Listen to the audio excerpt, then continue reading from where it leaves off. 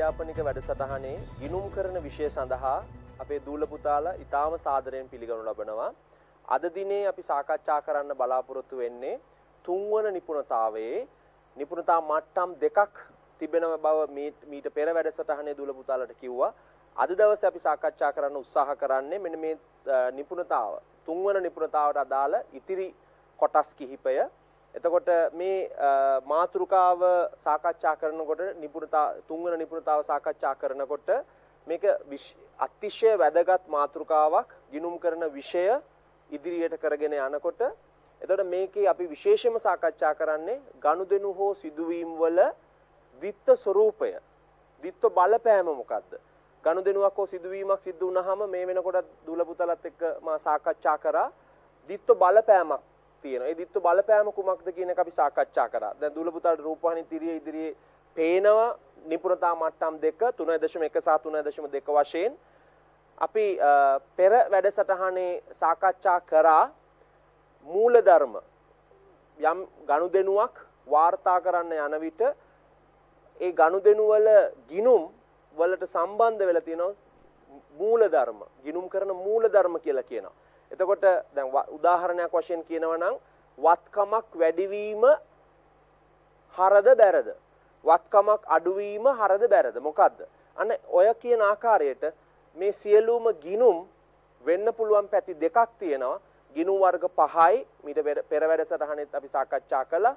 ගිනුම් වර්ග 5යි වත්කම් ගිනුම්, වගකීම් ගිනුම්, ආදායම් ගිනුම්, වගකීම් ගිනුම් සහ හිමිකම් ගිනුම් මේ සියලුම ගිනුම් ওই ගිනුම් වර්ග පහට අදාළ වෙන්න පුළුවන් පැති දෙකයි වෙන්න පුළුවන් එක දෙයක් තමයි වැඩි වෙන්න පුළුවන් අනිත් කාරණේ තමයි ඒවා අඩු වෙන්න පුළුවන්. එතකොට දැනටමත් දූල පුතාලා දන්නවා ගිනුමක දෙපැත්ත හර සහ බැර. හර සහ බැර. එතකොට ඔය කියන ගිනුම් වර්ග පහේ වැඩිවීම සහ අඩුවීම හර සහ බැර වශයෙන් අපිට වාර්තාකරණය කරගත යුතුයි. ඒ නිසා මෙන්න මේ ගිනුම් කරන මූලධර්ම අවබෝධයෙන් දැනගෙන සිටීම අතිශය වැදගත්. අවබෝධයෙන් දැනගෙන සිටීම. අපි බලමු මොකද්ද ගිනුම් කරන මූලධර්ම කියලා කියන්නේ. ව්‍යාපාර ගනුදෙනු ඒ ඒ අයිතමයන්ගේ සිදුවන වැඩිවීම සහ අඩුවීම. වැඩිවීම සහ අඩුවීම. වැඩිවීම සහ අඩුවීම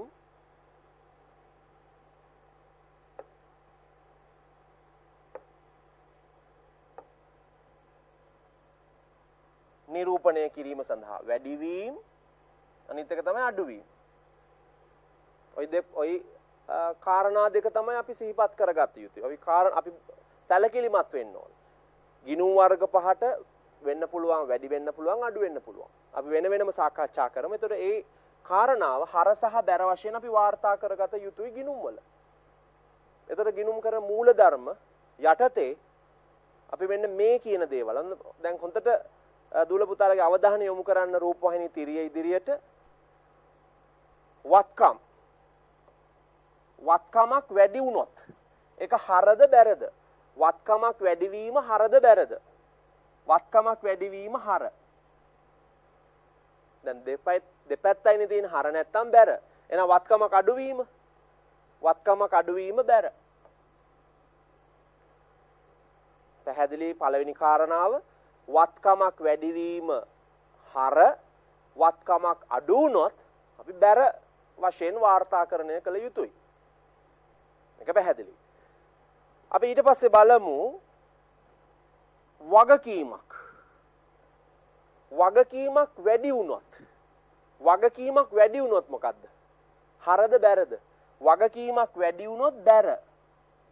වගකීමක් අඩු වුණොත් හර. කාරණාව පැහැදිලි. ආදායමක් ආදායමකුත් ආදායමකත් වෙන්න පුළුවන් පැති දෙකයි. එක්ක වැඩි වෙන්න පුළුවන් එක්ක අඩු වෙන්න පුළුවන්. මුලින්ම වැඩි වුණොත් ආදායමක් වැඩි වුණොත් ඒක මොකද්ද? ඒක බැර බැර පැත්ත. ආදායමක් අඩු වුණොත් හර. ඊට පස්සේ ගමු වියදමක්. වියදමක් වැඩි වුණොත් මොකද්ද වෙන්නේ? වියදමකත් වෙන්න පුළුවන් පැති දෙකයි. එක්ක වැඩි වෙන්න එක්ක අඩු වෙන්න. වැඩි වුණොත් හර අඩු වුණොත් බැර. අපි අවසාන කාරණාවට යමු. හිමිකම. හිමිකමට යමු අපි. හිමිකමක් වැඩි වුණොත් බැර අඩු වුණොත් හර. දැන් දූල පුතාලා සමහර වෙලාවට ප්‍රථම වතාවට ගිනුම් කරණය සමහරට 12 වසරින දරුවන් මීට පෙර සමහරට සාමාන්‍ය පෙළ සඳහා ගිනුම් කරන විෂය තෝරාගෙන නැති අය ඉන්නත් පුළුවන්. දැන් ඒගොල්ලන්ට සමහරට මේක දකිනකොට ටිකක් සංකීර්ණයි කියලා දැනෙන්න පුළුවන්. මතක තියාගත යුතුද? ආ මේක එකපාරට මතක තියාගන්න ටිකක් අපහසුයි කියලා දුල පුතාලට තේරෙන්න පුළුවන්. නමුත් බය වෙන්න එපා. මං මේකේ හර සහ බැර වශයෙන් සම්බන්ධ වෙන ආකාරය දුල පුතාලට මනාව පැහැදිලි කරලා දෙන්නම්. එතකොට දුල පුතාලට පුළුවන් මේ හර සහ බැර අවබෝධයෙන් යුතුව තේරුම් ගන්න. මම කවදාකවත් ගිනුම්කරණය සඳහා භාවිතා නොකරන වචනයක් තමයි මතක තියාගන්න. ඒ කියන්නේ කටපාඩම් නොකළ යුතු විෂයක් නෙමේක. කටපාඩම් කළ යුතු නැති විෂයක්. සියලුම දේවල් අවබෝධයෙන් යුතුව තේරුම් ගත විෂයක්. ඒ නිසා මම මේ අවබෝධයෙන් තේරුම් ගැනීම සඳහා අවශ්‍ය කාරණාව දූල පුතාලට පැහැදිලි කරලා දෙන්නම්. අපි මෙන්න මෙහෙම ගමු. පොඩි උදාහරණයක් ගමු. අපි ව්‍යාපාරයක් ආරම්භ කරමු. හිතන්න මම අයිතිකාරයා. අයිතිකාරයා සහ ව්‍යාපාරය කියන දෙන්නෙක් බව දූල පුතාලා මේ වෙනකොටත් දන්නවා. අයිතිකාරයා සහ ව්‍යාපාරය කියන දෙන්නෙක්. එතකොට හිතන්න මම අයිතිකාරයා වශයෙන් මම අයිතිකරු වශයෙන් මම දානවා රුපියල් 50000ක්. මගේ පෞද්ගලිකව තියෙන මුදල් 50000ක් යොදලා මම ව්‍යාපාරයක් ආරම්භ කරනවා. අපි හිතමු මෙහෙම. එහෙනම් මුලින්ම මොනවද මම දාන්නේ මුදල්. මුදල් මේ අරලිය ව්‍යාපාරය මගේ ව්යාපාරයේ නම අරලිය. අරලිය ව්‍යාපාරය.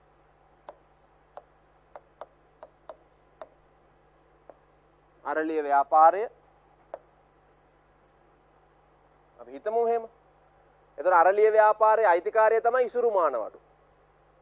එතකොට එතකොට මම දුලපුතාට දැනනමත් කිව්වා මම රුපියල් 50000 කියදුවා. එතකොට ඒකට අපි කියනවා මොකක් කියලාද? අපි ඒකට කියනවා ප්‍රාග්ධනය කියලා. අයිතිකාරු විසින් මුලින්ම යොදන මුදලට කියනවා ප්‍රාග්ධනය කියලා. එහෙනම් යොදවන්නේ මුදල්. එහෙනම් වත්කම්නේ මුදල් කියන වත්කම. වත්කම් සමානයි ප්‍රාග්ධනය. අපි එහෙම හිතමු. වත්කම් සමානයි ප්‍රාග්ධනය. කීයද රුපියල් 50000යි. සමානයි 50000. පැහැදිලි නේක? ඒ කාරණාව පැහැදිලි. මම ඊළඟ ප්‍රශ්නය අහනවා අපිට රුපියල් 50000කින් මේ ව්‍යාපාරය කරගෙන යන්න පුළුවන්ද? සාපේක්ෂව අමාරුයි නේ. ඒ නිසා අපි මොකද්ද කරන්නේ? අපිට පුළුවන් බැංකු ණයක් ගන්න. අපි කීයක් ගමුද? අපි ගමු ලක්ෂ 5ක් බැංකු ණය. රාජ්‍යයේ බැංකුවකින් ගමු බැංකු ණයක් ලක්ෂ 5ක්. දැන් කල්පනා කරන්න මොනව වෙයිද කියලා ගිනුම් කරන සමීකරණයට. එතන වත්කම් කීයක් වෙයිද? අපි රුපියල් ලක්ෂ 5ක් ලබා ගත්තොත් මෙතන වත්කම් වැඩි වෙනවා 550000 දක්වා. ප්‍රාග්ධනය වෙනස් වුණාද නැහැ. ප්‍රාග්ධනය වෙනස් වුන්නේ නැහැ 50000මයි. දාන්න. එහෙනම් ඒ පැත්තට තව යම් කාරණයක් සම්බන්ධ විය යුතුයි. මොකක්ද ඒ කාරණය? මෙතෙන්ට එන්න ඕන. බැංකු ණය කියන්නේ මොකද්ද? බැංකු ණය කියන්නේ ව්‍යාපාරයට වගකීමක්. එහෙනම් වගකීම් කියන එක වැඩි වෙන්න ඕනේ. එහෙනම් මෙතන අපි දාමු වගකීම්. වගකීම්. වගකීම කීයද එතකොට? ලක්ෂ 5යි. බැංකු ණය ගත්තේ ලක්ෂ 5යිනේ. දැන් දූල පුතාලට ඊටාම පැහැදිලිව පේනවා. ඊටාම පැහැදිලිව පේනවා 550000යි වත්කම් ප්‍රාග්ධනය 50000යි වගකීම් ලක්ෂ 5යි. ඒතර ඔය ආකාරයට ගිනුම් කරන සමීකරණය සම්බන්ධ වෙලා තියෙනවා. දැන් අපි ඊළඟට ඊළඟට බලමු මේ ව්‍යාපාරයක් ආරම්භ කළේ ඇයි? මොකද්ද අරමුණ? අරමුණ තමයි ලාභය. අපි ලාභය ලැබීමනේ අරමුණ. ලාභය ලැබීම අරමුණ නම් ලාභය කියන එක මොන පැත්ත ලියනවා නම් සුදුසුද? වත්කම් පැත්ත ලියනවා නම් සුදුසු මේ ප්‍රාග්ධනයත් එක්ක ලියනවා නම් සුදුසු. අනේ ඒක තමයි වැද මං මීට පෙර දුල පුතාලට පැහැදිලි කරා මීට පෙර වැඩසටහනේදී ප්‍රාග්ධනය සහ හිමිකමේ වෙනස කියන්නම් කියලා. ප්‍රාග්ධනය සහ හිමිකමේ වෙනස. එතකොට ප්‍රාග්ධනයට අපි යම් යම් ලාභ යම් යම් දැන් සමාගමක නම් යම් යම් සංචිත එකතු කරාම ඒ දෙක එකතුවට තමයි අපි කියන්නේ මොකක් කියලාද හිමිකම කියලා. හිමිකම කියලා. ප්‍රාග්ධනයට එකතු වෙන්න ඕන යම් යම් සංචිතයන්. එතකොට ඒ ටික එකතුවට තමයි අපි කියන්නේ හිමිකම කියලා. හිමිකම කියලා.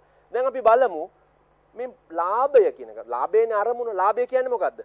ලාභය කියන්නේ දුලපුදාලා එදිනෙදා ජීවිතේදී දන්නවා ලාභය කියන්නේ මොකද්ද කියලා. ලාභය කියන්නේ ආදායමෙන් වියදම අඩු කරහට පස්සේ ලැබෙන ගාන. ආදායම සහ වියදම අතර වෙනසට තමයි අපි කියන ලාභය හෝ අලාභය. දෙපැත්ත වෙන්න පුළුවන්. ලාභය හෝ අලාභය. හරි. අපි මෙන්න මේ විදිහට මම ලියනවා දුල පුතාලා බලන්න ඒක හරිද වැරදිද කියලා. වත්කම් සමානයි ප්‍රාග්ධනය ධන ලාභය ධන වගකීම් හරි දැන් මේ ලාභය මෙන්න මේ දෙකට තමයි අපි කියන්නේ හිමිකම කියලා. මේ දෙකට තමයි අපි කියන්නේ හිමිකම කියලා. සරලවම. සරලවම කියන්න පුළුවන් දැන් මේ මේ හිමිකම හොයන්න අපිට සමීකරණ සමීකරණ ආශ්‍රයෙන් මොකක් කරන්න පුළුවන්ද? මේ හිමිකම එක්කහු කරගන්න. මුළු වත්කම් වලින් මුළු වගකීම් ටික අඩු කරලා පස්සේ මොකද ලැබෙන්නේ? මුළු වත්කම් වලින් මුළු වගකීම් ටික අඩු කරලා පස්සේ ලැබෙන්නේ මොකද? මේක මේක මේ පැත්තට එනකොට මේ ධන ලකුණ ඍණ වෙනවනේ ධන ලකුණ ඍණ වෙනවා. ඒතර වත්කම් ඍණ වගකීම් සමානයි හිමිකම. වත්කම් ඍණ වගකීම් සමානයි හිමිකම. තාම පැහැදිලි ඇති කියලා හිතන දුල පුතාලට. පැහැදිලිද ඇති කියලා මම විශ්වාස කරනවා. එතන අපි යමු ඉස්සරහට මෙන්න මේ ලාභය කියන එක මම මෙන්න මේ ආකාරයෙන් ලියනවා. වත්කම් සමානයි ප්‍රාග්ධනය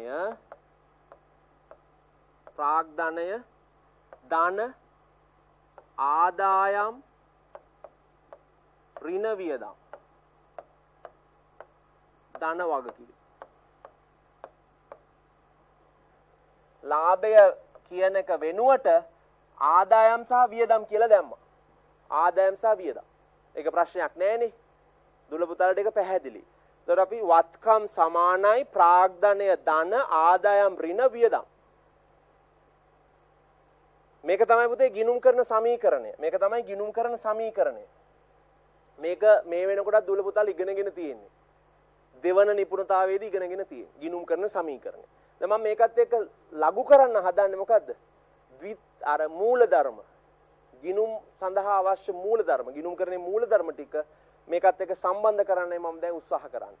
එතකොට දැන් දුල පුතාලා දන්නවා සමීකරණයෙන් දකුණු අත පැත්තේ ඍණ සලකුණ තියෙනවා නම් ඒක වම් අත පැත්තට ගන්නකොට ගණිතම ගණිතමය ආකාරයට ධන ලකුණ මොන වෙනවද?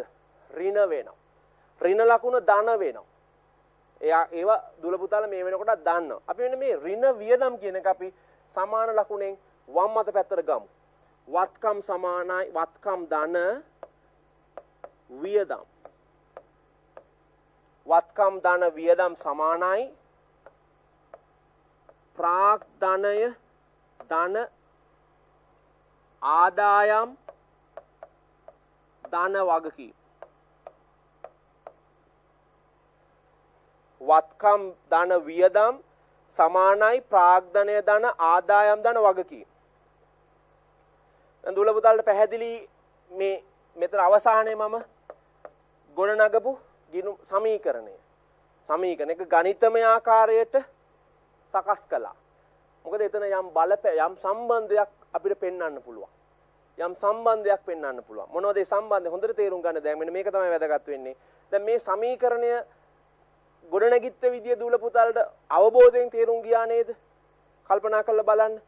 මේ ගිනුම් කරන ගොඩනැගිච්ච විදිය බොහොම පැහැදිලි කියලා මම විශ්වාස කරනවා. එතකොට වත්කම් ධන වියදම් සමානයි ප්‍රාග්ධනය ධන ආදායම් ධන වගකීම් කියන එක දුල පුතාලා අවබෝධයෙන් යුතුව තේරුම් අරන් ඉන්නේ. දැන් කල්පනා කරන්න මෙන්න මේ ආකාරයට. හිතන්න මේක ගිනුමක් කියලා. සමාන ලකුණේ මේ පැත්ත හර සමාන ලකුණෙන් දකුණු පැත්ත බෑර සමාන ලකුණෙන් වම් අත පැත්ත හර දකුණු පැත්ත බෑර එතකොට වත්කම් ගිණුම් වල සහ වියදම් ගිණුම් වල වැඩිවීම. වත්කම් ගිණුම් වල සහ වියදම් ගිණුම් වල වැඩිවීම හරද බැරද? වත්කම් ගිණුම් වල සහ වියදම් ගිණුම් වල වැඩිවීම හරද බැරද? හර. වත්කම් ගිණුම් සහ වියදම් ගිණුම් වැඩි වුණොත් දුල පුතාලා හොඳට තේරුම් ගන්න ඒක හර. වත්කම් වැඩි වුණොත් හර වියදම් වැඩි වුණත් හර. එහෙනම් අඩු වුණාම බැර කියන එක අමුතුවෙන් තේරුම් ගන්න ඕනේ නෑනේ. වැඩිවීම හරනම් අඩුවීම බැර කියන එක පැහැදිලි. මේ පැත්තට එන්න බලන්න. ප්‍රාග්ධනය ආදායම් සහ වගකීම්. ප්‍රාග්ධනය ආදායම් ධන වගකීම්. වැඩිවීම හරද බැරද? වැඩිවීම බැර. මේ තියෙන්නේ. මේ තුනේ වැඩිවීමව මේ තුනේම වැඩිවීම බැර. එහෙනම් අඩුවීම හර.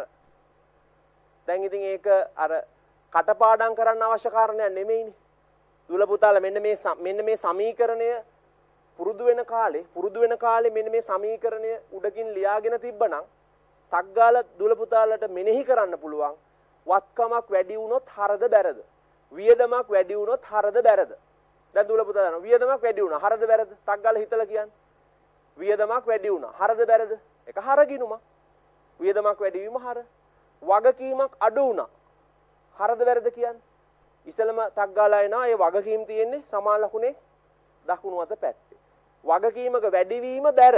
එහෙනම් අඩුවීමක් හර. බොහොම පැහැදිලි. ආදායමක වැඩිවීමක් හර. Sorry සමා වෙන්න ඕන. ආදායමක වැඩිවීමක් ආදායමක වැඩිවීමක් බැර පැත්තේ ගිනුමක් ආදායමක අඩුවීමක් හර පැත්තේ ගිනුමක් වත්කමක වැඩිවීමක් හර පැත්තේ ගිනුමක් වත්කමක අඩුවීමක් වත්කමක අඩුවීමක් බැර පැත්තේ ගිනුමක් උදර දූල පුතාලට මං හිතනවා ඉතාම පැහැදිලි ඇති කියලා මෙන්න මේ කියන කාරණාව. එහෙනම් අපි යමු දැන් මේ මම අතින් ලියලා තියෙන්නේ දූල පුතාලට පැහැදිලි වෙන්න. මේක මම දාලා තියෙනවා. මේක ගොඩනැගෙන ආකාරය බොහොම පිළිවෙලට දාලා තියෙනවා. දූල පුතාලට බලා ගන්න පුළුවන්. දැන් මෙතන මේ හිමිකම කියන එක මෙතන දැන් මේ ඇයි මේ හිමිකම ඇතුලේ මොනවද තියෙනවද? ලාභය කියන එක තියෙනවා. හිමිකම ඇතුලේ ලාභය තියෙන නිසා තමයි එතන හිමිකම කියන එක දැම්මේ. ඒතර වත්කමෙන් වගකීම් අඩුනහම මොනවද ලැබෙන්නේ? වත්කමෙන් වගකීම් ටික අඩුනහම හිමිකම් කියන එක ලැබෙනවා. වත්කම් වලින් වගකීම් අඩුනහම හිමිකම් ලැබෙනවා. ඊට පස්සේ දෙවනි කාරණා වශයෙන් මෙන්න මෙතන මේ ආකාරයට දාලා තියෙන්නේ. ප්‍රාග්ධනය දන ලාභය සමාන හිමිකම. ප්‍රාග්ධනය දන ලාභය සමාන හිමිකම. එතකොට ඒක වගකීම් එන විදිය දුල පුතාලා දාන්න. ඒක මම උදාහරණයක් අරගෙන අරලිය ව්‍යාපාරය සම්බන්ධ කරලා උදාහරණයක් අරගෙන දුල පුතාලට පැහැදිලි කළා. ඊට පස්සේ වත්කම් සමානයි ප්‍රාග්ධනය දන ආදායම් ඍණ වියදම් දන වගකීම්. මේ ලාභය දිගහැරලා ලිව්වා. ලාභය දිගහැරලා ලිව්වා. දැන් ඊට පස්සේ මේ වියදම් කියන එක ගෙනාව සමාන ලකුණේ මේ පැත්තට. හරිද? ඊට පස්සේ ඒ වත්කම් සහ වියදම් වල වැඩිවීම හර වියදම් වල වැඩිවීම හර වියදම් සහ වත්කම් වැඩිවීම හර ප්‍රාග්ධනය ආදායම් සහ වගකීම් වැඩිවීම බැර මං හිතනවා දූල පුතාලා ඊටාම පැහැදිලි ඇති කියලා. දැන් අපි බලමු මේ කාරණාව ඒක තේරුම් ගත්තද නැද්ද කියලා අපිට බලන්න පුළුවන් මෙන්න මේ කියන ක්‍රියාකාරකම ක්‍රියාව මේ ක්‍රියාකාරකම කළා බලමු. අපි ඊට පෙර මේ ක්‍රියාකාරකම දූල පුතාලක දූල පුතාලා සටහන් කරගන්න. දූල පුතාලා සටහන් කරගන්න මේ ක්‍රියාකාරකම. මං දුල පුතාලා ලියන වේගෙන් කියවන්නම් මයිකින් එක කියවන්නම් ලියා ගන්න ඊට පස්සේ අපිට පුළුවන් මේ ගනුදෙනුවෙන් ගනුදෙනුව ලෙජරයට වාර්තා වෙන්නේ කොහොමද කියලා අපිට පැහැදිලි කරගන්න. දිස්සටහන් මූලධර්ම වලට අනුකූලව අදාළ ගිණුම් වල සටහන් කරන්න. ව්‍යාපාරයක 2020 ජනවාරි මාස සිදු වූ ගනුදෙනු කිහිපයක් පහත දැක්වේ. ලියා ගන්න. සරලව ලියා ගන්න. වැදගත් කාරණා ටික ලියා ගන්න. ජනවාරි පළවෙනිදා රුපියල් ලක්ෂ පහක් ප්‍රාග්ධනය යෙදවීම. රුපියල් ලක්ෂ පහක් ප්‍රාග්ධනය යෙදවීම.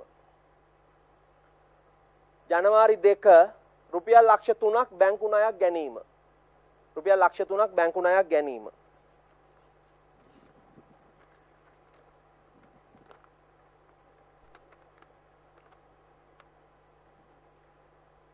ඊට පස්සේ ජනවාරි 5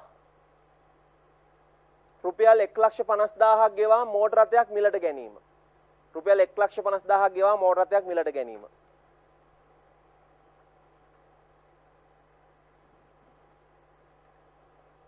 ඊට පස්සේ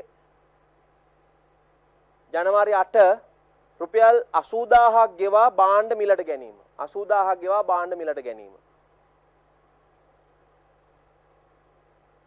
ජනවාරි 10 රුපියල් 50000ක බාණ්ඩ සීමිත නිමල් සමාගමෙන් ණයට ගැනීම. රුපියල් 50000ක භාණ්ඩ සීමිත නිමල් සමාගමෙන් ණයට ගැනීම. ජනවාරි 15 සමන්ට රුපියල් 25000ක භාණ්ඩ ණයට විකිණීම. සමන්ට රුපියල් 25000ක භාණ්ඩ ණයට විකිණීම. ජනවාරි 16 මෝටර රථ අලුත් වැඩියා වියදම රුපියල් 8000ක් ගෙවීම. මෝටර රථ අලුත් වැඩියා වියදම රුපියල් 8000ක් ගෙවීම. ජනවාරි 20 රුපියල් 30000ක භාණ්ඩ විකිණීම. රුපියල් 30000ක භාණ්ඩ විකිණීම. ජනවාරි 21 ජනවාරි 21 රුපියල් 2500ක් සේවකයෙකු වන කුමාර ණයට ඉල්ලා ගැනීම රුපියල් 2500ක් සේවකයෙකු වන කුමාර ණයට ඉල්ලා ගැනීම. ඒ කියන්නේ ව්‍යාපාරයේ ණයට දීලා. ජනවාරි 28 රුපියල් 5000ක් රක්ෂණ ගාස්තු ගෙවීම. රුපියල් 5000ක් රක්ෂණ ගාස්තු ගෙවීම. අවසාන ගනුදෙනුව ජනවාරි 31 රුපියල් 1000ක් අයිතිකරු පෞද්ගලික ප්‍රයෝජනයට ගැනීම. රුපියල් 1000ක් අයිතිකරු පෞද්ගලික ප්‍රයෝජනට ගැනීම. දැන් අපි මේ එකින් එක පිළිතුරු සාකච්ඡා කරන්න යන්නේ. එකින් එක පිළිතුරු සාකච්ඡා කරන්න යන්නේ දුල පුතාලා මේ වෙනකොටත් මේ ගණන සටහන් කරගෙන ඉන්නේ.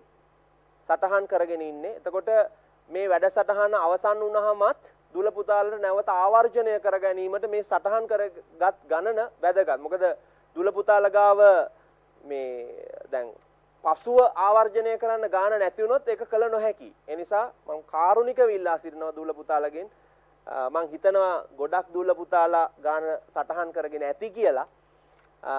අපිට ඊට පස්සේ මේ ගානට අදාළ පිළිතුරු සාකච්ඡා කරන්න පුළුවන් එකින් එකට මගෙත් එක්කම කරමු. දැන් මාගාව ගාන මම සටහන් කරගෙන තියෙන ගාන මාගාව ගාන තියෙනවා. දැන් මම මෙතනින් එහා පැත්තට ගිහාම මම අතින් ගිනුම් ටික හදලා පෙන්නනවා.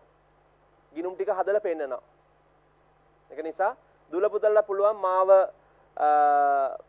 මාත් එක්කම ගාන හදන් යන්න එකින් එකට. මාගෙත් එක්කම ගාන හදාගෙන යන්න පුළුවන්.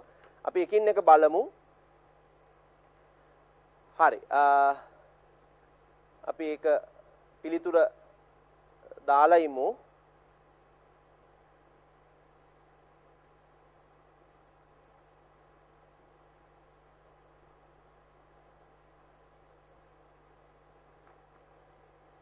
හරි. දැන් මම පිළිතුර සපයන්නයි හදන්නේ. පිළිතුර සපයන්න හදන්නේ. අපි බලමු මුල්ම ගනුදෙනුව. ජනවාරි පළවෙනිද මොකද්ද වෙන්නේ? ලක්ෂ 5ක් ප්‍රාග්ධනය යෙදවීම. දැන් බලන්න මොකද්ද වෙන්නේ කියලා.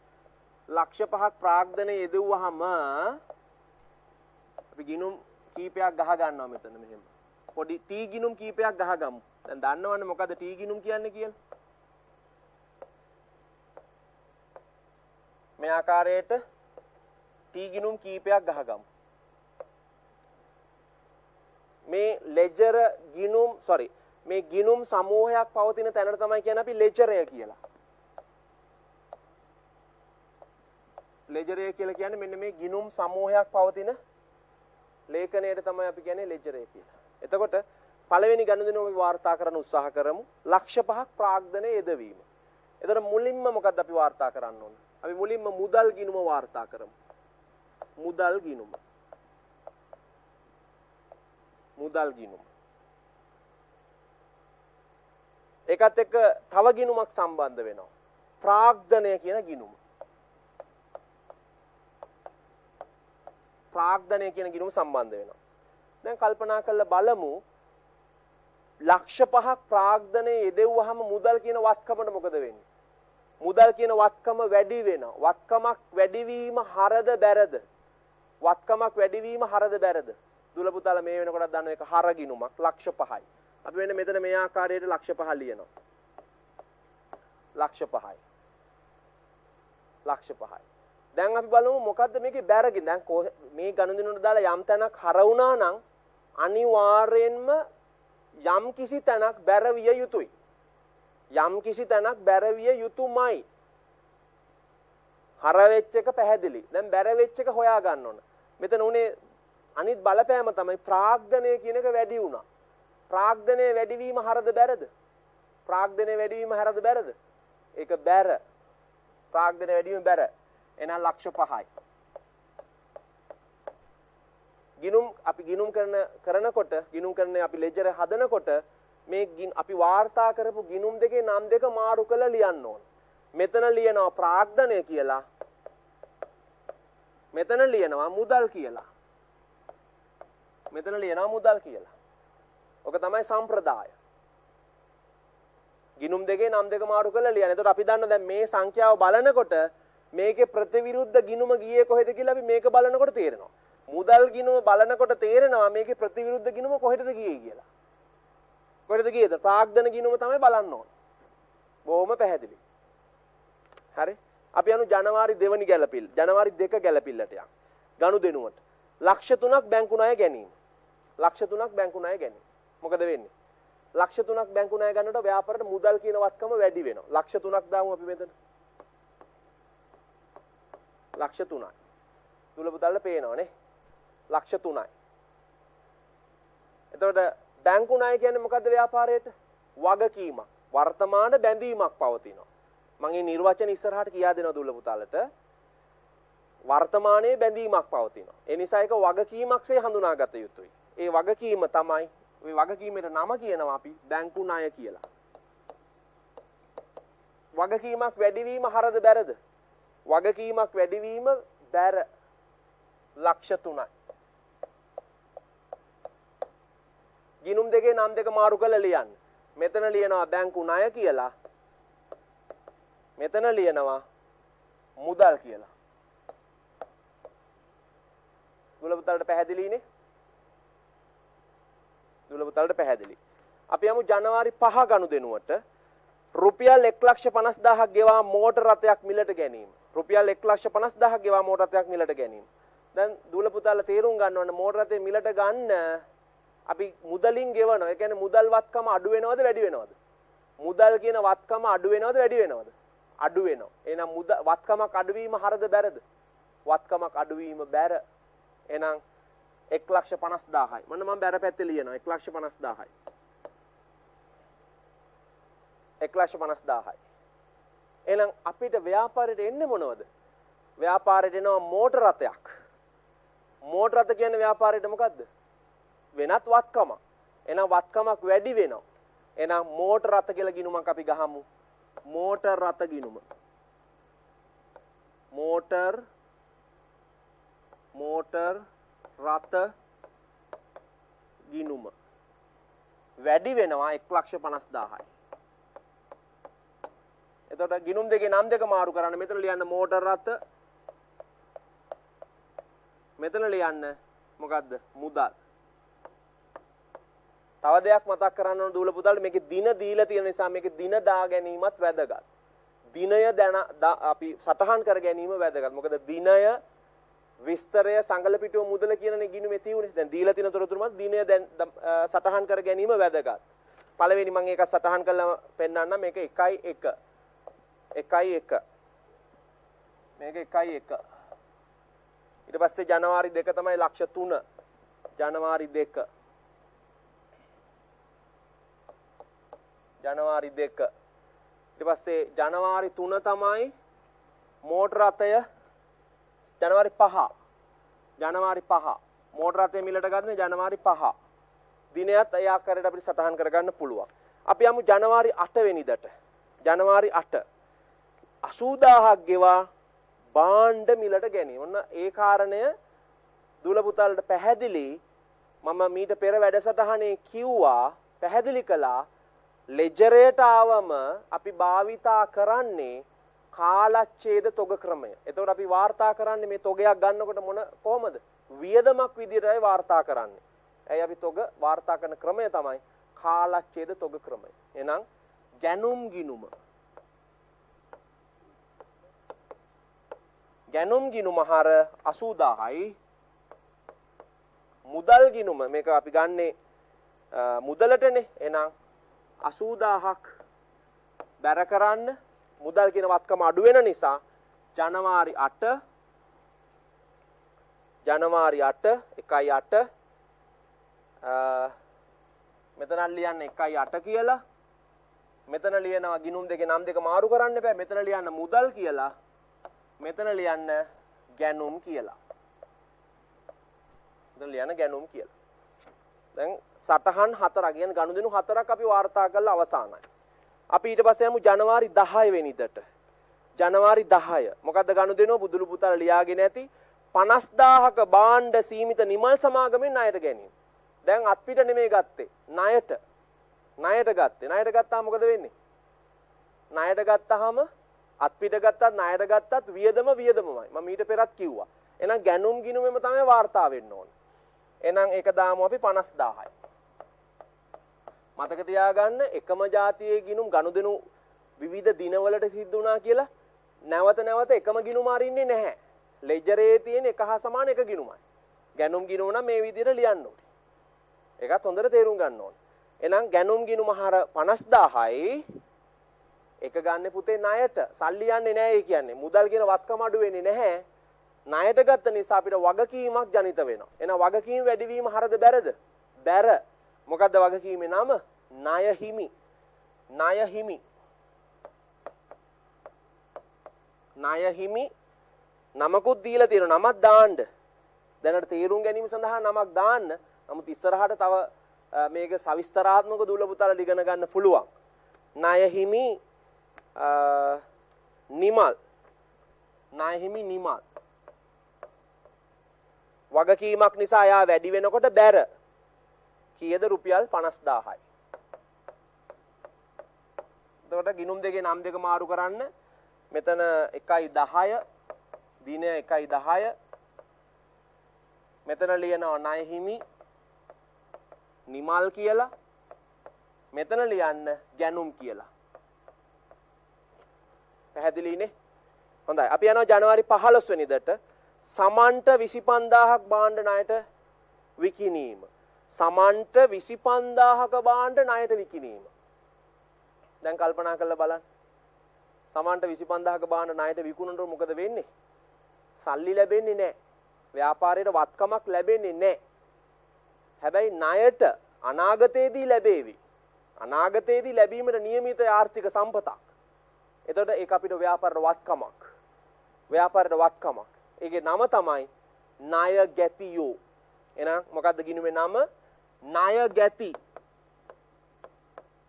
ණය ගැති කියන්නේ ව්‍යාපාර වත්කමක් අනාගතයේදී ලැබීමට නියමිතයි. ණය ගැතියගේ නම තමයි සමන්. ණය ගැති සමන්. වත්කමක් වැඩිවීම හරද වැරද? හර. කීයද ගාන? 25000යි. මෙතන දානවා දිනය 1.15. 1.15. 1.15. දැන් දුල්ල පුතාලා තේරුම් ගන්න වත්කමක් වැඩි වුණා. වත්කමක් වැඩි වුණා. එතකොට අනිත් අනිත් අනිත් බලපෑම මොකද්ද? මෙතන 25000ක් වත්කමක් වැඩි වුණා. දැන් ඒ කාරණාවත් එක්ක කල්පනා කරලා බලන්න දෙවනි බලපෑම මොකද්ද? විකිණීමක් සිද්ධ වෙලා තියෙනවා. එහෙනම් ඒ අපිට මේ වත්කම වැඩිවීමත් එක්ක හඳුනාගත යුතු අනිත් ගිණුව මොකද්ද? ඒක තමයි පුතේ ආදායම් කියන්නේ. ආදායම් වත්කමක් වැඩි වුණා ඒ වත්කම වැඩි වුණේ ඒ වත්කම වැඩි උනේ අයිතිකාරයා ව්‍යාපාරයට සම්පත් ගෙනල්ලා නෙමෙයි. ව්‍යාපාරයේ එදිනෙදා ගනුදෙනු වලින් තමයි එදිනෙදා මෙහෙයුම් කටයුතු වලින් තමයි ඒක සිද්ධ වුනේ. ඒ නිසා ඒ වැඩිවීම ඒ වත්කම් වැඩිවීම අපිට හිතන්න වෙනවා මොකක් වශයෙන්ද? ආදායමක් වශයෙන් හිතන්න වෙනවා. එහෙනම් ඒ ආදායමේ නම තමයි මොකද්ද? ආදායමේ නම තමයි විකුණු. විකුණුම් කියවම ඕනම කෙනෙක් දන්නවා ඒක ආදායමක් කියලා. එහෙනම් ආදායම වැඩිවීම හරද බැරද? ආදායමක් වැඩිවීම හරද බැරද? බැර. බැර 25000යි. දින 1.15 ගිනුම් දෙකෙන් නම් දෙක මාරු කරා දැම්ම මෙතන. එහෙනම් මෙතන දානවා ණය ගැති. ණය ගැති සමන් මෙතන දානවා විකුණුම්. ගිනුම් දෙකේ නම් දෙක මාරු කරන්න. අපි යනවා ජනවාරි 16ට. මෝටරත අලුත් වැඩියා වියදම 8000ක් ගෙවීම. මෝටරත අලුත් වැඩියා වියදම. මෝටරට අලුත් වැඩි. දැන් මෝටරට අලුත් වැඩියා කියන්නේ අපි සාමාන්‍යයෙන් මාස දෙකකට පාරක්, මාස 6කට පාරක් මෝටර් රථය අලුත් වැඩියා කරන සමහරලාට අපි ඉංග්‍රීසි වලින් කියන්නේ සර්විස් කරනවා කියලා. එතකොට ඒවා අයබාර වියදමක්ද ප්‍රාග්ධන වියදමක්ද?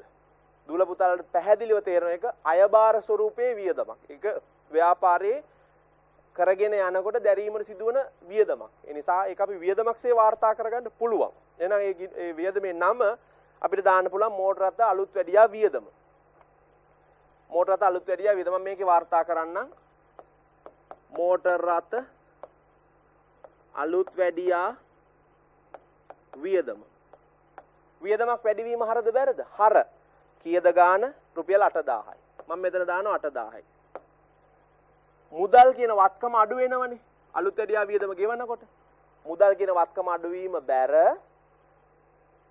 අලුත් වැඩියා වියදම වැඩිවීම හර. එහෙනම් ගිනුම් දෙකේ නම් දෙක මාරු කරලා ලියන්න. දිනය ඇවිල්ලා ජනවාරි 16 1යි 16. මෙතන 1යි 16. මෙතන ලියනවා අලුත් වැඩියා වියදම මෙතන ලියනවා මුදල් ගිනුම්. මම හිතනවා පැහැදිලි ඇති කියලා. දුලපුතල්ට පැහැදිලි ඇති කියලා හිතනවා. අපි යමු ඊළඟ ගනුදෙනුවට ජනවාරි 20 30000ක භාණ්ඩ විකිණීම. ඒ වගේම ගනුදෙනුව දැනටමත් සටහන් කරලා තියෙන්නේ 30000ක භාණ්ඩ විකිණීම. හැබැයි මෙතන වෙනස තියෙන්නේ මොකද්ද?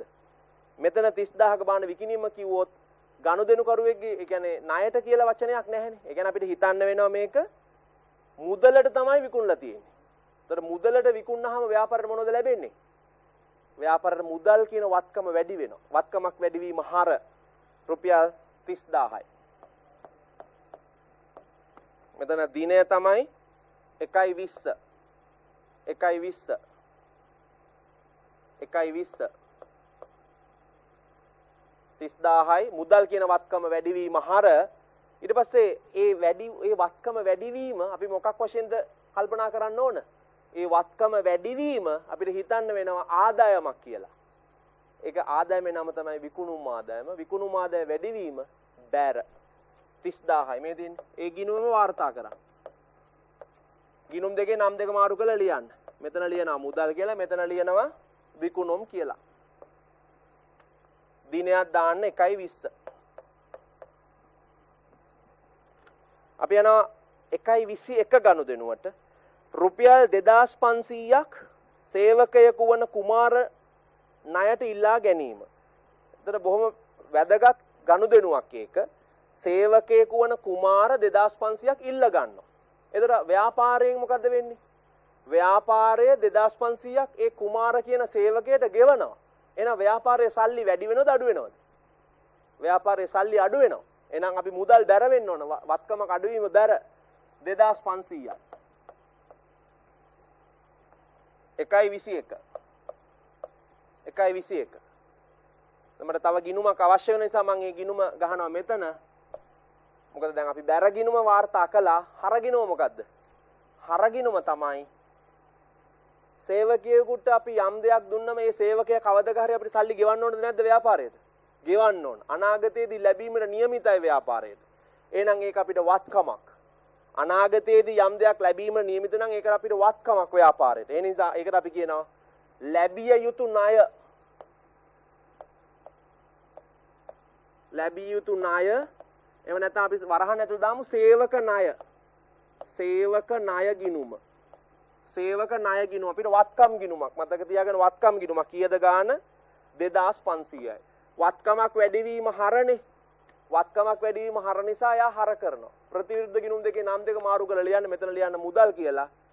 අතන ලියන්න ඕන මුදල් ගිණුමේ ලියන්න ඕන සේවක ණය කියලා. දිනය 1.21 මෙතන දාමු 1.21 මෙතන සේවක ණය. සේවක ණය. හොඳයි.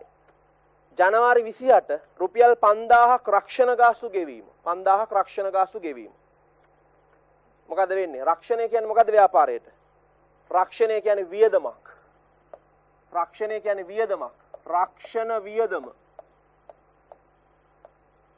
රක්ෂණ වියදම රක්ෂණ වියදම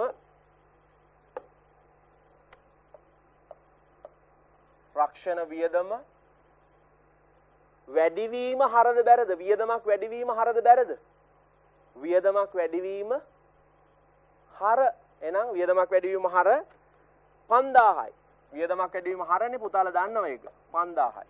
අපි ඒක ලියමු. අපි ගෙවන්නේ මොනවයින්ද? රක්ෂණය ගෙවන්නේ සල්ලි වලින්, මුදල් වලින්. මුදල් කියන්නේ වත්කම. වත්කම අඩු වෙනවා. එහෙනම් වත්කම අඩුවීම හරද බැරද? වත්කමක් අඩුවීම බැර. වත්කමක් අඩුවීම බැර කල්පනා කරලා බලන්න. එහෙනම් අපි යමු වත්කමක් අඩුවීම වාර්තා කරන්න මුදල් ගිනුව බැර කරන්න රුපියල් 5000ක්. මෙතන ලියනවා රක්ෂණ කියලා. දින 1.28 දින 1.28 රක්ෂණය 5000යි මුදල් බැර කරා රක්ෂණ කියන ගිනුම හර කරා. මෙතන ලියනවා මුදල් කියලා දිනය දාන්න 1.28 1.28 දුල පුතල්ට පැහැදිලි දුල පුතල්ට පැහැදිලි අවසාන ගනුදෙනුව අයිතිකරු රුපියල් 1000ක් පෞද්ගලික ප්‍රයෝජනයට ගැනීම. ඒක වැදගත් ගනුදෙනුවක්, තවත් වැදගත් ගනුදෙනුවක්. අයිතිකාරයා ව්‍යාපාරයට මුදල් යොදවනකොට අපි කිව්වේ ප්‍රාග්ධනය කියලා. දැන් අයිතිකාරයා පෞද්ගලික ප්‍රයෝජනයට ගෙදර අරන් යනවා. එතකොට මොනවයින්ද ගෙදර අරන් යන්නේ? මුදල් වලින්ම. එහෙනම් මුදල් කියන වත්කමට මොකද වෙන්නේ? මුදල් කියන වත්කම අඩු වෙන්න එපා. එහෙනම් වත්කමක් අඩුවීම හරද බැරද? වත්කමක් අඩුවීම බැර අපි දන්නවා ඒක එහෙනම් 1000 මෙතන දාමු ටිකක් ගොඩක් ගනුදෙනු ගොඩක් එතන වාර්තා වෙලා තියෙන නිසා දුල පුතල්ට පැහැදිලි ඇති කියලා හිතනවා පොඩි අකුරෙන් තමයි ලියන්න වෙන්නේ මෙතන ලියන්න ඕන ඒ අයිතිකාරයා පෞද්ගලික ප්‍රයෝජනට රැගෙන යන දෙයට දැනටමත් මම වචනේ කියලා තියෙන්නේ. ඒකට කියනවා ගැනිලි කියලා. ඉංග්‍රීසියෙන් කියනවා drawings කියලා. අතට ගැනිලි කියන්නේ හිමිකම වැඩි වෙනවද හිමිකම අඩු වෙනවද? ගැනිලි කියන්නේ හිමිකම වැඩි වෙන ගිනුමක්ද අඩු වෙන ගිනුමක්ද? හිමිකම අඩු වෙන ගිනුමක්. එතකොට හිමිකම අඩු වෙනව නම් හරද බැරද? හිමිකම අඩු වෙනව නම් පුතේ හර. හිමිකම අඩු වෙනව නම් හර. හරි දුල පුතාලට ඒක පැහැදිලි. එහෙනම් මෙතන මේ ගිනුමේ නම දාමු ගැනිලි කියලා ලියමු. ගැනිලි 1.31 ගැනිලි ගිනුම. එහෙනම් මුදල් පොත මුදල් ගිනුම බැර කරන්න මුදල් ගිනුම බැර කරන්න දාහක් ගැනිලි කියනම ගැනිලි. පටලව ගන්න එපා ගැනුම් කියන්න එකක් ගැනිලි කියන්නේ තව එකක්. ගැනිලි කියන්නේ එකක් ගැනුම් කියන්නේ තව එකක්. හරි? එතකොට කල්පනා කරන්න දූල පුතාලා ගැනිලි කියන්නේ හිමිකම් අඩුවීමේ ගිනුමක් ඒ නිසා හිමිකම් අඩුවීම හරද බැරද? හිමිකම් අඩුවීම හර හිමිකම් අඩුවීම හර අපි මේ පැත්තට දානවා රුපියල් 1000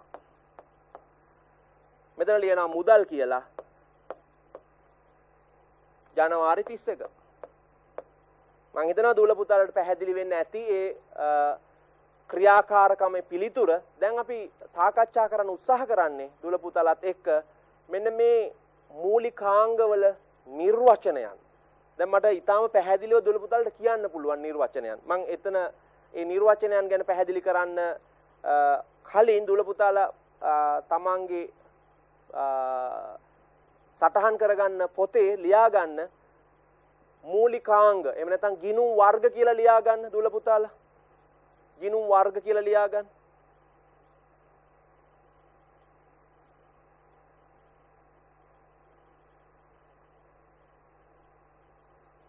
ගිනුම් වර්ග කියලා ලියාගන්න හරි මං හිතනවා දුල පුතාලා ඒක ලියාගන්න ඇති දැන් දුල පුතාලට ගිනුම් වර්ග ලියන්න කලින් මෙන්න මේ දේ සාකච්ඡා කරමු ලෙජරය කියන එක දැනටමත් දන්නවනේ.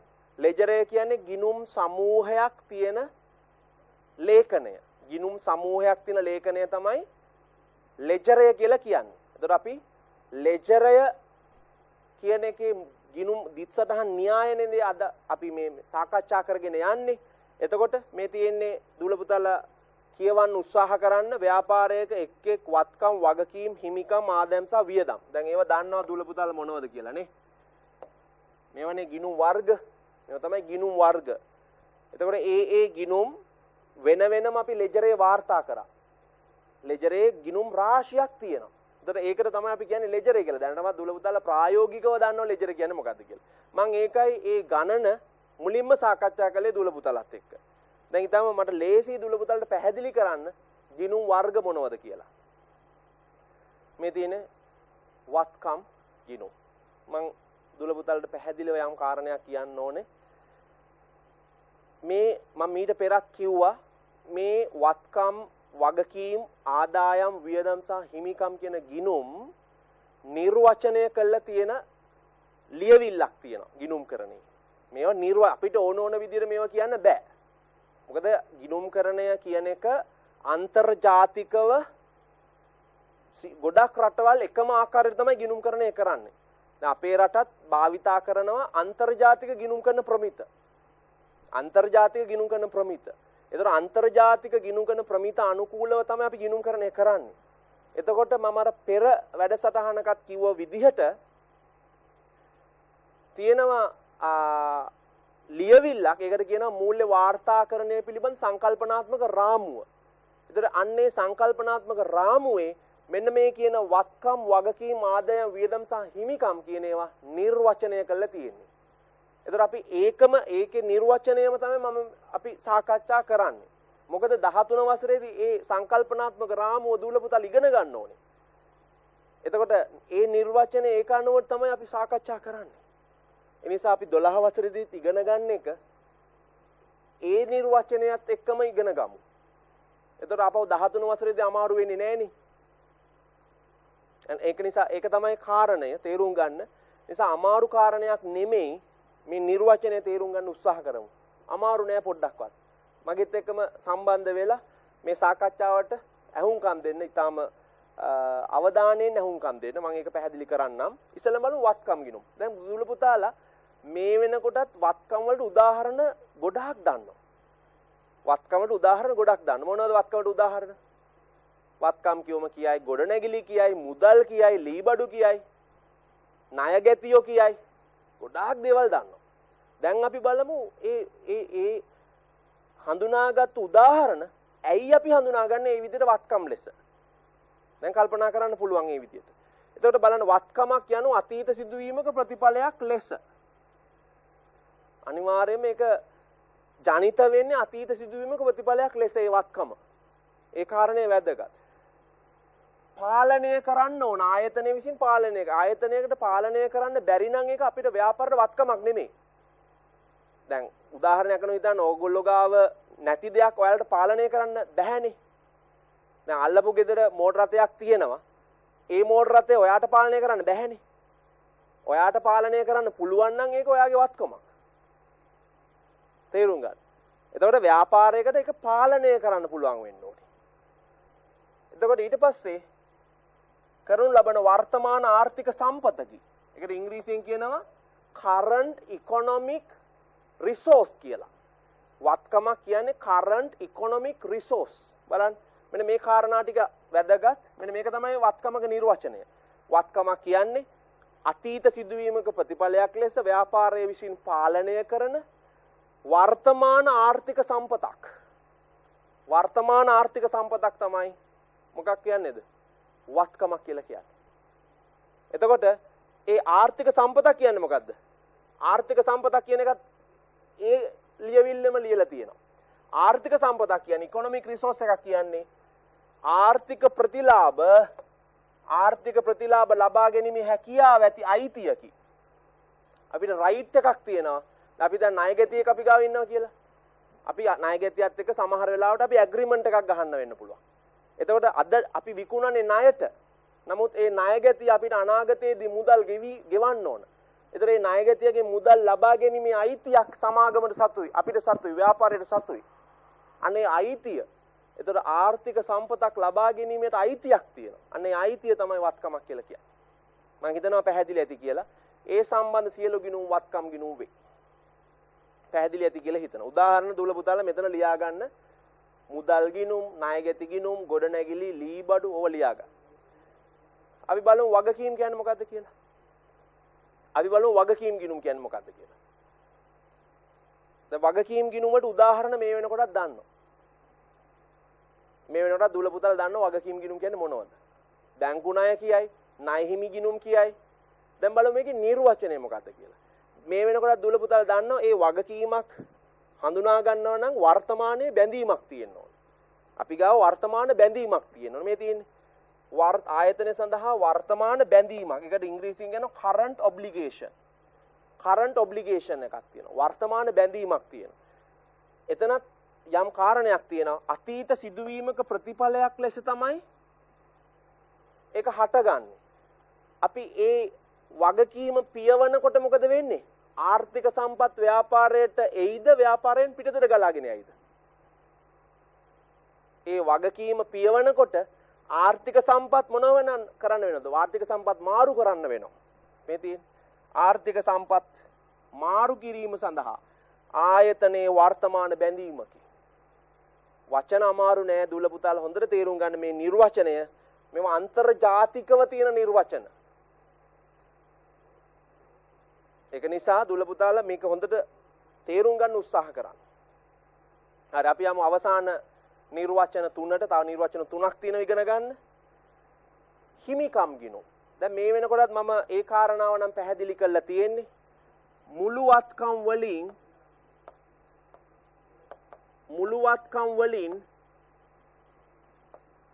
මුළු වගකීම අඩු කරාට පස්සේ මුළු වගකීම් අඩු කරාට පස්සේ මොනවද ලැබෙන්නේ අපිට?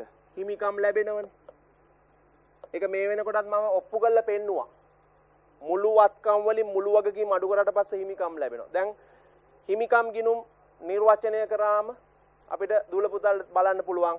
හිමිකම් යනු සියලු වගකීම් අඩු කළ පසු ආයතනයේ වත්කම් සඳහා ඉතිරිව ඇති අවශේෂ වටිනාකමයි.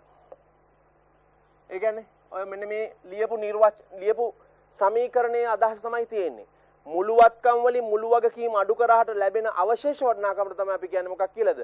හිමිකම කියලා. ඒතර ඒ සම්බන්ධ ගිණුම් වලට අපි කියනවා හිමිකම් ගිණුම් කියලා කියනවා. උදාහරණයක් අනුව අපිට ගන්න පුළුවන් ප්‍රාග්ධන ගිණුම, ගැනිලි ගිණුම, තව සංචිත ගිණුම් තියෙනවා නම් සංචිත ගිණුම් ගන්න පුළුවන්. සමාගම් ගිණුම් කරන එහෙම ඉස්සරහට කරන්න ඕනේ. එතකොට දුල පුතාට ඒ පිළිබඳ හොඳ අවබෝධයක් ගන්න පුළුවන්. දැන් මෙන්න වැදගත්ම කාරණාව. වැදගත්ම කාරණාව ආදායම් ගිණුම්. ආදායම් ගිණුම්. දැන් දුල පුතාලා මේ වෙනකොටත් දන්නවා ආදායම් කියන්නේ මොනවද කියලා. ආදායම් කියන්නේ මොනවද කියලා මේ වෙනකොට දුල පුතාලා දන්නවා. හරි. දැන් මට මට ඉඩ දෙන්න ඒක පැහැදිලි කරන්න දුල පුතාලට ආදායම් කියන්නේ මොකක්ද ඇත්තටම? දැන් කල්පනා කරලා බලන්න හිමිකම හිමිකම වැඩි වෙන්න පුළුවන් කාරණා දෙකක් තියෙනවනේ. හිමිකමක් වැඩි වෙන්න පුළුවන් කාරණා දෙකක් තියෙනවා. පළවෙනි කාරණාව මොකද්ද? එක්ක අයිතිකාරය දාන්න පුළුවන්. අයිතිකාරයා සම්පත් දෙවොත් හිමිකම වැඩි වෙනවනේ. අනිත් කාරණේ මොකද්ද? අයිතිකාරයා එහෙම දැම්මේ නැති වුණොත් හිමිකම වැඩි වෙන්න වැඩි වුණොත් වැඩි වෙන්නේ මොනව තුලින්ද? ආදායමක් තුලින්ම පමණයි. අනේක කාරණා හොඳට ඔලුවට ගන්න. හිමිකම වැඩි වෙන්න පුළුවන් කාරණා දෙකයි. පළවෙනි කාරණාව අයිතිකාරයා ව්‍යාපාරයට යෙදුවොත් අනිත් කාරණාව තමයි ආදායම් තුලින්. හරි. එතකොට ඒ වැඩි වෙන්න පුළුවන් ක්‍රම මොනවද?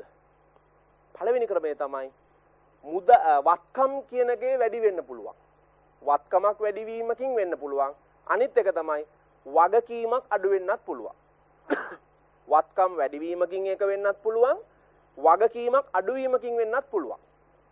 දැන් දැන් ඔය කියන කාරණා ටික ඔළුවේ තියාගෙන මෙන්න මේ නිර්වචනය කියවන්න. අයිතිකරුවන්ගේ දායකත්වයෙන් තොරව. ඇයි මං අයිතිකරුවන්ගේ දායකත්වයෙන් තොරව කියලා කිව්වේ? අයි අයිතිකාරයා ව්‍යාපාරයට දැම්මොත් ඒක ආදායමක් වෙන්නේ නැහැ නේ. ඒක හිමිකම්නේ. ඒ නිසා එයාගේ බලය අයින් කරා. තොරව වත්කමක් වැඩිවීමකින් හෝ වගකීමක් අඩුවීමකින් මොන වෙන්න පුළුවන්ද? හිමිකමේ වනවන වැඩිවීම ආදායම් ලෙස නම් වේ. හිමිකමේ වන වැඩිවීම ආදායම් ලෙස නම් වේ. උදාහරණයක් අනුව කිව්වොත් අත්පිට විකිණීම. අත්පිට විකුණනට මොනවද ව්‍යාපාර ලැබෙන්නේ? සල්ලි ලැබෙනවා. වත්කමක් වැඩි වෙනවා. ඒත් එක්කම හිමිකම වැඩි වෙනවනේ. එතන අයිතිකාරයාගේ මැදිහත් වීමක් නැහැ. ඒ නිසා අපි අන්නේ වැඩි වීමට අපි කියනවා ආදායම් කියලා. ආදායම් කියලා අපි ඒකට කියනවා. මම හිතන දුල පුතාලට පැහැදිලි ඇති කියලා. ඕකම අනිත් තව විදිහකට අපිට කතා කරන්න පුළුවන්. අපි ගාව නාහිමියෙක් ඉන්නවා. ඒ නාහිමියා එයාට ඉක්මනට සල්ලි ඕන කියලා අපිට දෙනවා පොඩි සහනයක්. ඒකට කියනවා ලද වට්ටම් කියලා. ඒකට කියනවා ලද වට්ටම් කියලා. ඒ සහනය දෙයා හිතන්න අපි 50000ක භාණ්ඩ ණයට ලබා ගත්ත කියලා. එයා කියනවා දවස් 10කින් ගෙවුවොත් සහනයක් දෙනවා කියලා 10%ක. එතන 50000ට 10ක් කියන්නේ 5000යි. එතන මම ගෙවන්න ඕන කීයද? රුපියල් 45000යි ගෙවන්න ඕන. 45000ක් ගෙවන්න ඕන. හරි. එතන අර 5000 මොකද්ද? ඒ 5000 අපිට 5000 අපිට ආදායමක්සේ හඳුනා ගන්න පුළුවන්. ඇයි හේතුව? ණය හිමියෝ අඩු වෙනවා. ඒ කියන්නේ වගකීමක් අඩු වෙනවා. අයිතිකරුගේ මැදිහත් වීමකින් තොරව වගකීමක් අඩු වෙන නිසා වගකීමක් අඩු වෙන නිසා අපි ඒකට කියන මොකක් කියලාද? ආදායමක් කියලා කියනවා. ආදායමක් කියලා කියනවා. මම ආපහු ඒක ලඝු කරන්න නැවතත් ඒක පැහැදිලි කරන්නම්. අපි ගාව ඉන්නෝ ණය හිමියෙක්. අපි ගාව ණය හිමියෙක් ඉන්නවා රුපියල් 50000යි. ඒ ණය හිමියට සල්ලි අවශ්‍යයි. ණය හිමියට අපි ගෙවිය යුතුයිනේ සල්ලි. ව්‍යාපාරය විසින් ගෙවිය යුතු අපිට වගකීමක් තියෙන්නේ. අපිට වගකීමක්. එයා ණය හිමි අපිට කියනවා දවස් 10ක් ඇතුළත සල්ලි ගෙව්වොත් 10%ක වට්ටමක් දෙනවා කියනවා. එතකොට අපි ගෙවන්න ඕන කීයද? 50000ට 10ක් කියන්නේ 5000යි. ඒ කියන්නේ අපි ගෙවන්න ඕන රුපියල් 45000යිනේ. 5000ක් අපිට සහනයක් ලැබෙනවා. ඇයි 50000ක බාණ්ඩ අරගෙන 45000යි ගෙවන්නේ. එතකොට 5000ක් අපිට මොකක් හෝ දෙයක් ඒ දේ තමයි මොකද ආදායමක්. එතන වෙන්නේ වගකීම අඩු වෙනවා අයිතිකරුගේ මැදිහත් වීමකින් තොරව. මේ තියෙන මෙන්න මේකට උදාහරණයක් තමයි කිව්වේ මං ලද වට්ටා. ලද වට්ටමක්. වත්කමක් වැඩිවීමට අපිට ගන්න පුළුවන් අත්පිට විකුණුම් ආදී අපිට ගන්න පුළුවන්. හොඳයි මං හිතනවා දුල පුතල්ට පැහැදිලි ඇති කියලා. අපි යමු ඊළඟ අවසාන නිර්වචනය අවසාන නිර්වචනය වියදම් ගිනුම් වියදම් ගිනුම් දැන් ඒකත් අර ආදායම් නිර්වචනයේම අනිත් පැත්ත ආදායම් නිර්වචනයේ අනිත් පැත්ත වියදම් නිර්වචනය ආදායම් නිර්වචනය දුල පුතාලට පැහැදිලි වුණා නම් වියදම් නිර්වචනය කියන්නේ එච්චර ලොකු දෙයක් නෙමෙයි දැන් හිමිකමක් අඩු වෙන්න පුළුවන් අවස්ථා දෙක මොකද්ද හිමිකමක් අඩු වෙන්න පුළුවන් අවස්ථා දෙකයි තියෙන්නේ. පළවෙනි එක තමයි අයිතිකාරය ව්‍යාපාරයෙන් සම්පත් අරන් යන එක. ඒක පළවෙනි කාරණය. දෙවෙනි කාරණය තමයි වියදම් සිද්ධ වීම. ව්‍යාපාරයක හිමිකම අඩු වෙන්න පුළුවන් අවස්ථා දෙකයි. අයිතිකාරය අරන් යන්න පුළුවන් අනිත් කාරණය තමයි වියදම් සිද්ධ වීම. එතකොට දැන් අපි ලඝු කරන්නේ වියදම්නේ. වියදම් ලඝු කරගන්න ඕන නිසා අපි මොන බලපෑම් ඉවත් කරන්න ඕනද? අයිතිකාරයගේ බලපෑම් ඉවත් කරමු. එතකොට අයිතිකාරයගේ බලපෑමෙන් තොරව හිමිකම අඩුවීමට යම් දෙයක් බලපානවද ඒක මොකද්ද? ඒක වියදමක්. හැබැයි ඒ දේ වෙන්න පුළුවන් එක්ක වත්කමක් අඩුවීමකින් සිද්ධ වෙන්න පුළුවන්. එහෙම නැත්නම් වගකීමක් වැඩිවීමකින් සිද්ධ වෙන්න පුළුවන්. බලන්න. අයිතිකරුගේ මැදිහත් වීමකින් තොරව අයිතිකරුගේ මැදිහත් වීමකින් තොරව වත්කමක් අඩුවීමකින් හෝ වගකීමක් වැඩිවීමකින් හිමිකම අඩුවීමට වන හේතු වියදමක් ලෙස හැඳින්වේ. වියදමක් ලෙස හැඳින්වේ. ඒ හා සම්බන්ධ ගිනුම් වලට අපි කියනවා වියදම් ගිනුම් කියලා. ඒ හා සම්බන්ධ ගිනුමට අපි කියනවා වියදම් ගිනුම් කියලා. දැන් දුල පුතාලට පැහැදිලි ගිනුම් වර්ග පහම අපි පැහැදිලි කරා. මට ඉඩ දෙන්න මේකට උදාහරණයක් දෙකක් කියන්න. විදුලි වියදම. විදුලි වියදම. අපි මොහොගින්ද විදුලි වියදම ගෙව්වේ? මුදලින් ගෙව්වා. ඒ කියන්නේ මුදල් කියන වත්කම අඩු වුණා. මුදල් කියන වත්කම අඩු වුණා. ආ හිතන අපි විදුලි වියදම ගෙව්වේ නැහැ අපිට සල්ලි නැති වුණා කියලා. සල්ලි අපිට තිබ්බේ නැහැ හිඟයි. විදුලි වියදම ගෙව්වේ නැහැ නමුත් විදුලිය භාවිතා කළා. එතන විදුලිය භාවිතා කරා අපි ගෙව්වේ නැත්තම් අපිට මොකද ඇති වෙන්නේ? වර්තමාන බැඳීමක් ඇති වෙනවා. වගකීමක් ඇති වෙනවා. එහෙනම් වගකීම වැඩි වෙනවා. වගකීම වැඩි වෙනවා. එතන ඒ තුලින් හිමිකම මොනවද වෙන්නේ? හිමිකම අඩු වෙනවා. හැබැයි එතන අයිතිකාරයාගේ මැදිහත් වීමක් නැහැ. ඒ නිසා අපි ඒකට කියන මොකක් කියලාද? වියදමක් කියලා කියනවා. මම හිතනවා දූල පුතාලට පැහැදිලි වියදම වලට උදාහරණ ගොඩාක් තියෙනවා. අපේ උදාහරණේ දූල පුතාලා සටහන් කරා වියදම් ගිණුම් කීපයක්. මෝටර රථ අලුත් වැඩියා වියදම්, විදුලි වියදම්, රක්ෂණ වියදම් වාර්තා කළා. ඒ නිසා මේ ගිණුම්කරණය කියන විෂය පොඩ්ඩක්වත් අමාරු විෂයක් නෙමෙයි. බොහොම සුන්දර විෂයක් තාර්කික විෂයක් කියන මම නැවත නැවතත් කියන්නේ ඒකයි. මේ හැම දෙයකටම හේතු තියෙනවා. ඒ හේතුත් එක්ක තමයි අපි ගිනුම් කරන කියන විෂය ඉගෙනගත යුත්තේ.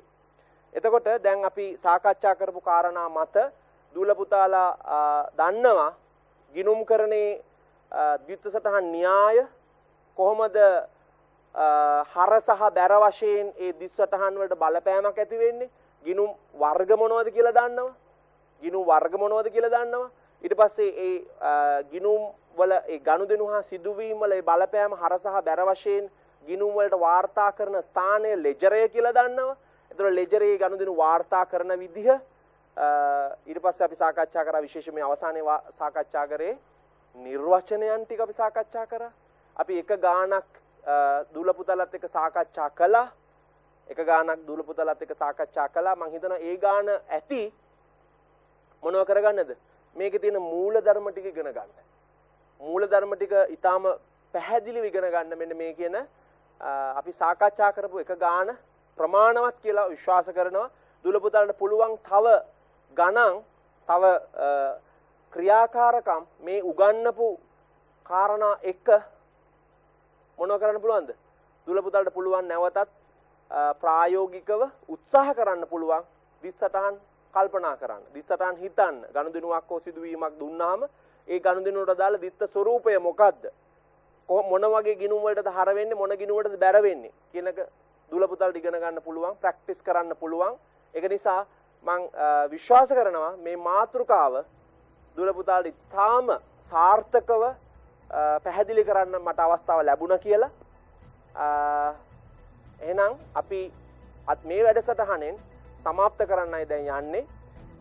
නැවතත් කියන්නම් අපි සාකච්ඡා කර නිපුණතාවය තමයි නිපුණතාවය තමයි තුනයි තුන කියන නිපුණතාවය. ඒක යටතේ අපි ඉගෙන ගත්තා. තුනයි දශම එක නිපුණතා මට්ටම සහ තුනයි දශම දෙක නිපුණතා මට්ටම දූල පුතාල ඉගෙන ගත්තා. එතට මේත් සමග දොළහ වසරේ දොළහ වසරට නියමිත නිපුණතා වලින් නිපුණතා මට්ටම තුන කියන නිපුණතාව මේ වෙනකොට අපි අවසාන කරලා තියෙන්නේ. දූල පුතාලට බොහොම පැහැදිලිව ඒ කාරණා විෂයකාරණා අවබෝධ වෙන්න ඇති කියලම විශ්වාස කරනවා එනම් අපි නැවතත් මෙවනිම වැඩ සටහනකින් හමුවීමේ බලාපොරොත්තුවෙන් දුලපුතාලගෙන් අදට සමුගන්නවා දුලපුතාලට බොහොම ස්තුතියි. ආයිබෝවන්